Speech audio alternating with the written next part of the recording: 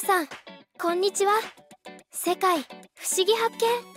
見のアシスタント MC としておなじみの TBS テレビアナウンサー出水舞さんですが数々の番組に出演しておりその天真爛漫な性格から男女ともに一定の好感度を得ています。今回はそんな出水舞さんについて紹介していきたいと思います。是非最後までご視聴ください。出水舞さんは1984年2月11日生まれですのですでにアラフォー世代に突入していますが結婚していないことに対して世間では早く結婚してほしいと願う声が多数上がってました。一方でアラフォー世代になっても結婚していないことに関してなぜ結婚できないのかと疑問に感じている人も相当数いるようです。アラフォー女性の未婚理由としては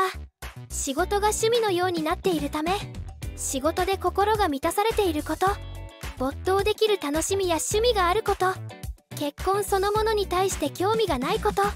結婚という枠に縛られたくないというマインドを持っていることなどですが出水舞さんが結婚していない理由は何なのでしょうか？結婚できない理由があるのでしょうか？出水舞さんとかつて交際していたとされる人物は3人います。1人目は元 TBS 報道局政治部記者の白畑正一さんです。交際が噂されたのは2008年のことですが当時白畑正一さんは妻子のいる身であったため社内不倫をしていたことになります。出水舞さんと白畑正一さんの出会いは「ニュース2 3で出水舞さんがスポーツコーナーを担当していた頃だと言われています。当時に白畑正一さんが報道局配属となり同じ報道現場にいる人間同士で意気投合し交際に発展していったそうです。交際していることを特に隠そうともしない2人に対して当時の上司は2人が同じ番組にならないように細心の注意を払いながら人材配置を考えたりするなどかなり不審したようですがその後2人の関係は崩れ去っていきました。白畑正一さんは2016年3月13日に東京港区赤坂のスーパーでうなぎのかば焼きや鯛の刺身など合計5300円相当の食品を万引きした疑いで警視庁に現行犯逮捕され TBS を懲戒解雇されてしまいました。逮捕された当時の白畑正一さんの年齢は38歳でしたので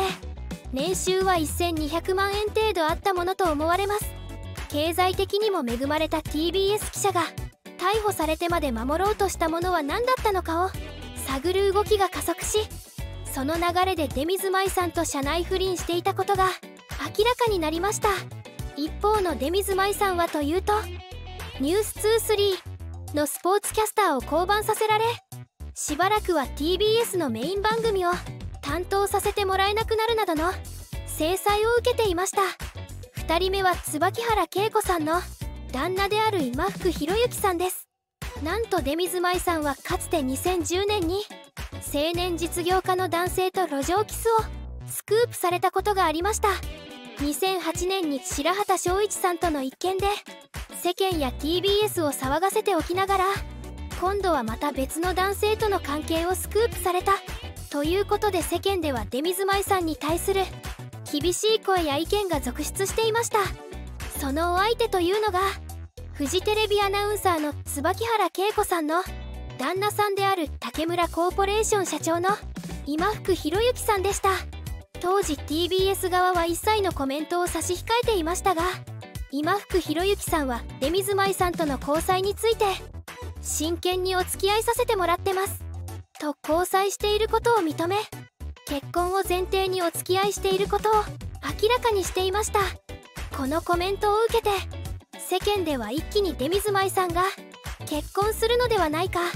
結婚と同時に寿退社するのではないかとの声が上がっていました。出水舞さんと今福博之さんの交際が順調に進んでいることに安堵感が広がったのもつかの間その後ほどなくして破局を迎えてしまいました。その後2020年5月4日に出演した TBS ラジオ「玉結び」の中で当時のことを赤裸々に語っていました。出水舞さんはニュースを読んでいる身なので若干オブラートに包んで話しますがと前置きした上で当時は私生活でいいことがあり若干脳内が花畑状態になっていたため人様が見ているところで顔と顔の距離が非常に近い密状態になってしまったことがあったと語っていました。共演者であるカンニング竹山さんを含めてスタジオ内で笑いを誘っていました。3人目は東京都内でスーパーや精肉店を経営する会社社長です。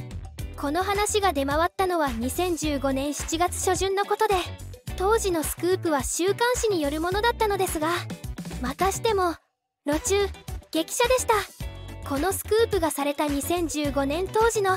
出水舞さんの年齢は31歳でお相手男性の年齢は33歳だったため30代にもなって人目もはばからずに公衆の面前でという気もしないではないですが出水舞さんは実家のご両親と2度の食事を交えてお相手男性を紹介までしていたようで本気で結婚を考えていたようですがその男性は2021年6月に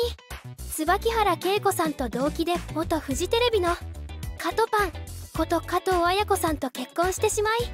結果的には実らぬ恋となったわけですがもしこのスクープ画像が世に出回っていなければ今頃は出水舞さんがスーパーマーケットチェーンの社長夫人となっていたかもしれません。2度も両親を交えた食事をしておきながら今となってはこの男性に執着はないように振る舞う出水舞さんですが現時点で彼女は2度も寝取られてしまっています。そんな出水舞さんですが結婚していないのは育った家庭環境が原因なのではないかとも言われています。出水舞さんは帰国子女で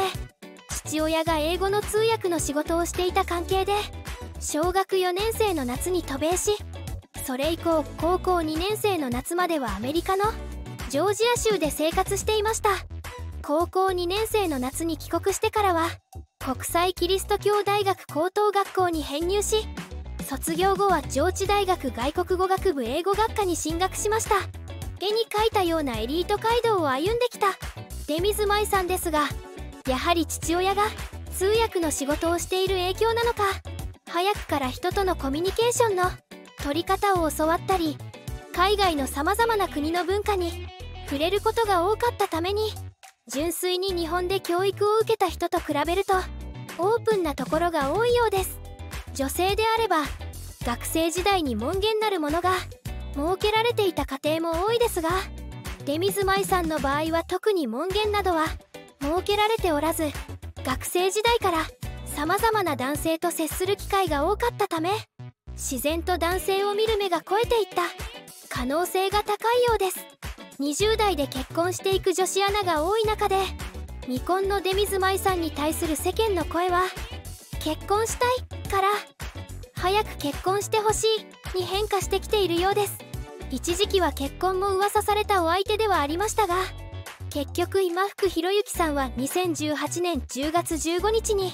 フジテレビアナウンサーの椿原恵子さんと結婚しましたしその後に噂が出回った一般人男性も結婚しましたので出水舞さんの結婚話は完全に振り出しに戻ってしまいました。出水舞さんと一緒に仕事をしたことがある。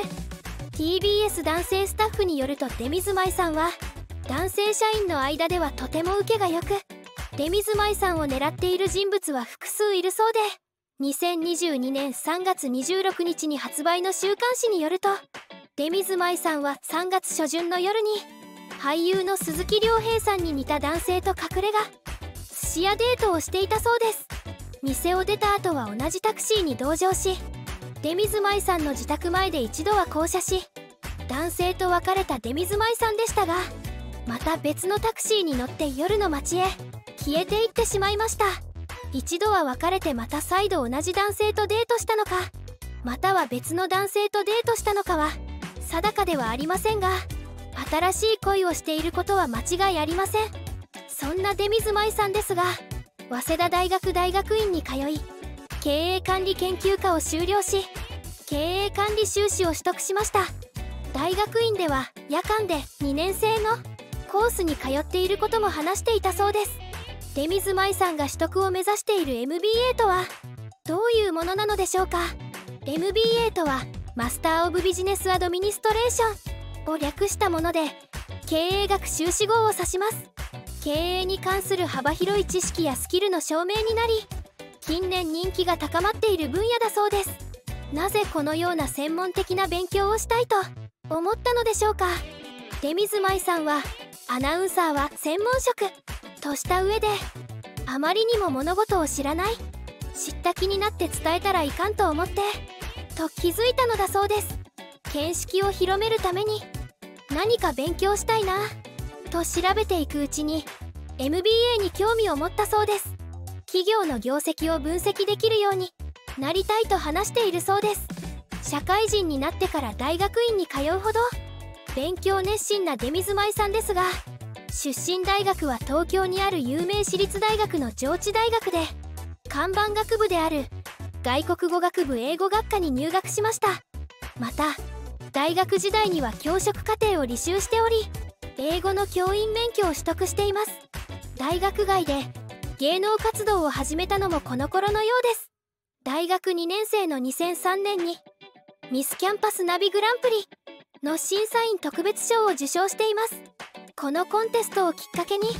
芸能事務所セントフォースに所属して芸能活動を始めたそうです。前述した通り小学4年から高校2年までアメリカの学校に通っていた帰国子女でした。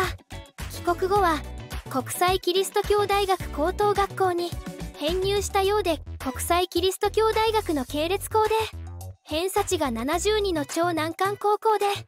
全校生徒の3分の2が帰国子女で英語教育の水準が非常に高いことで有名だそうです。出水麻衣さんはその英語力を生かし高校時代に英検1級に合格しています。 TOEIC は980点のスコアを持っているそうで子供時代の大半の時間をアメリカで過ごしてネイティブに近い英語能力が身についたようですね。いかがだったでしょうか？ここまでお伝えしてきた通り出水舞さんはかつて様々な男性との間に熱愛の噂が出回り実際に交際経験が豊富なことに加えて育ってきた家庭環境が一般的な家庭とはかけ離れていますので価値観の合うお相手と巡り合える機会はそれほど多くないと言えます。見た目が明るく快活な印象を与える出水舞さんのことを好きになる男性は多いはずですので是非今後は素敵な人に出会って仕事もプライベートも充実している姿を見せてもらいたいですね。最後までご視聴していただきありがとうございました。コメントを残してくれると嬉しいです。チャンネル登録高評価もぜひお願いいたします。それでは